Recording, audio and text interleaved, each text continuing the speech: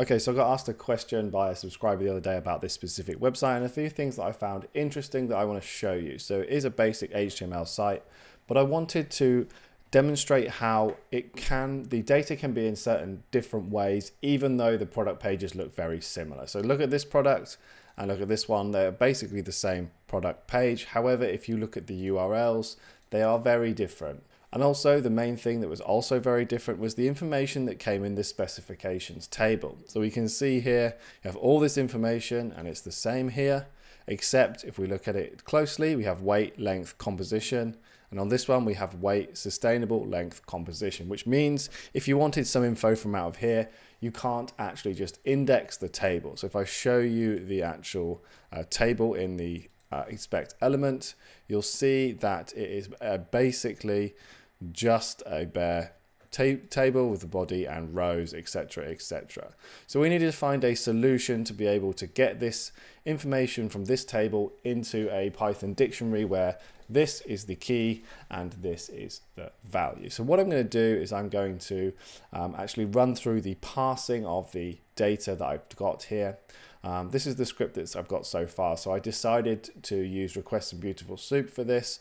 I have set my base URL here and I've decided that because of the way that the URLs are, I'm going to pass in a tuple into my extract function to get the HTML data. And what I'm going to do is I'm going to give it the second part of the URL for the product and also I'm going to give it uh, these two bits of information that I've stipulated that I've put in so I know that they kind of match the product here. So you can see this one's DMC and DMC and there. So this is information that I've decided to put in based on the based on what products we want to get out. So to pass a tuple into an argument, we need to unpack it.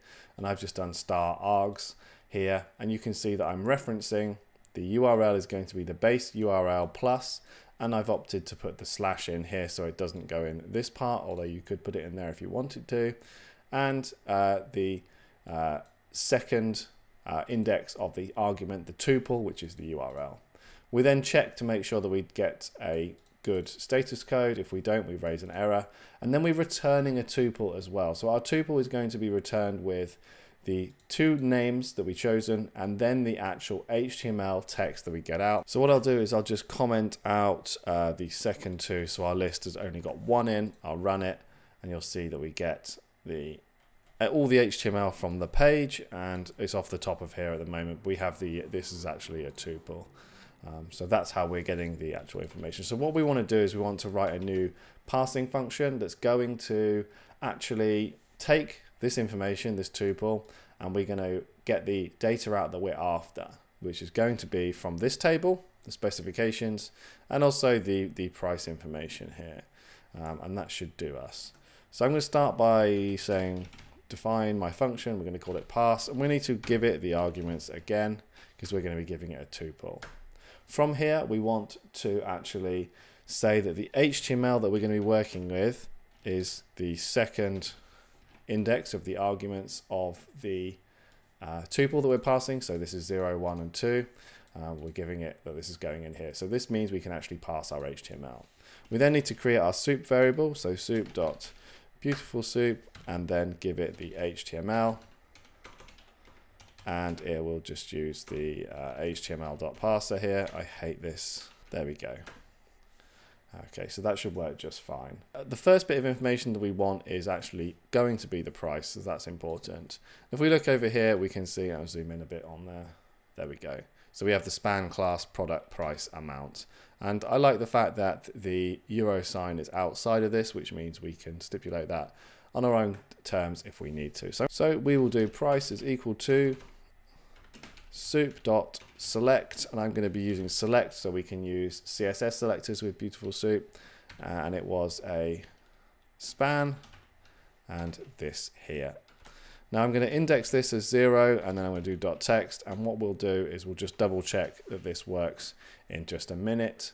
Uh, in fact we'll do that now. We'll return out price here and what we'll do is we will print out when we pass the HTML here. So I'm going to run this and we should just get three prices up, I think. Oh, that's because I've given it the wrong thing. There we go. That's a tuple, thank you. There we go. So there's the first one, second one. You can see the, this is the price for each of these pages. So we know that this is working here. So we don't want to actually return that. We, what we want to do is we want to create a dictionary and we want to end up with the dictionary that has this piece of information, this one. Maybe you want the URL, but I'm going to exclude that for now. And we're going to say this is the product that we've, we've referenced here. And then we're going to add the price to it. And then we're going to add the contents of the table that we looked at here, just down here. So we're going to add all of this and I'll show you how to do the um, key and value. So I'm going to say that my data is equal to, without an indent, thank you, is equal to a blank dictionary. What we want to do now is we're going to add in the key of name and we're going to say that's going to be equal to the first argument that we pass in, uh, the zero index. Then we can add in our key of, um, what should I call it, item I think, args 1 and then we'll say the data of price. So this is just creating the keys in the dictionary. We're adding it to our blank dictionary is going to be price. Now obviously you could put this whole thing here. If you wanted to that would also work. I'm just going to leave it like this for now. So if I return our data out now what we're going to get hopefully is a dictionary for each one that says here's the information that we've given it and here's the price that we found on the web page. Great. So to get this table information then, as I showed you earlier in the video, this is just a blank table. So there is there's no IDs or anything on these rows. And if you look at the cells, they're basically just two TDs. There's nothing to determine. So we couldn't just go ahead and say, I'll just grab this one with the ID. Now you could index it, but as I showed you, they are in a different order. So if you wanted that information out, you're going to struggle because maybe this piece of information or this one is the first index in one of them products, but not the first index in a different product. So what I'm going to do is I'm going to actually loop through all of the rows and then we're going to select and add the key, which is the first cell and then the value, which is the second cell to our dictionary. So we get a nice long dictionary out with all of this information for each product, regardless of what's there or what uh, order it is in. So what we're going to do is we'll say for, I'm just going to call this items in, in soup.select.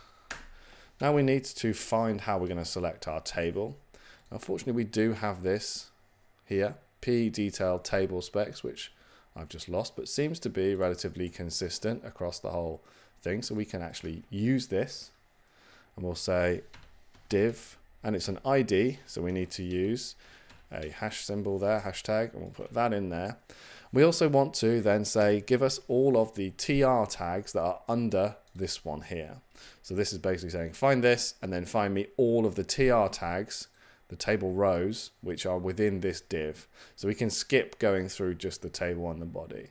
Now I'm referencing it with this div here because it has something to work with and I think this is going to be more specific although if in other cases you might be able to just go ahead and find the table on the page or but there's more likely to be multiple tables on a page than there are specific divs with specific names like this one which is detailed table specs so I think that's going to be fairly safe. Now we have our for loop we can actually reference each of the table cells that are underneath these rows.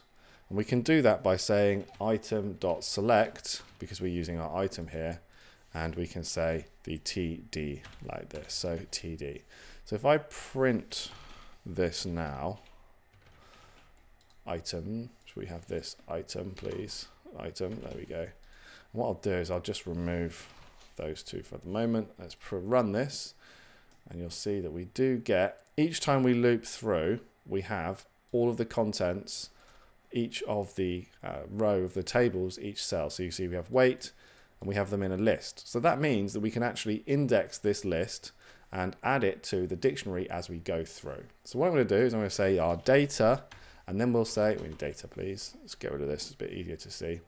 Data, and then we want the key is going to be, not that, like this, but we want to actually index this as the first item that comes out of that list that I just showed you, and we want the text from it. So that's going to be the key of our dictionary. And we'll say that's going to equal to this again, but the first index.